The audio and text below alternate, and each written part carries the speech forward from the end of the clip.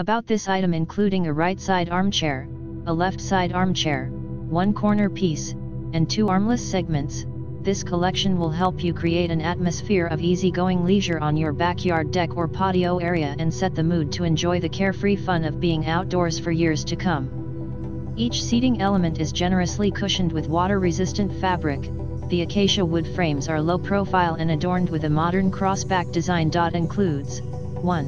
1. Right side armchair, 1. 1. Left side armchair, 1. 1. Corner piece, 2. 2. Armless pieces. Frame material, acacia wood. Cushion material, water-resistant fabric.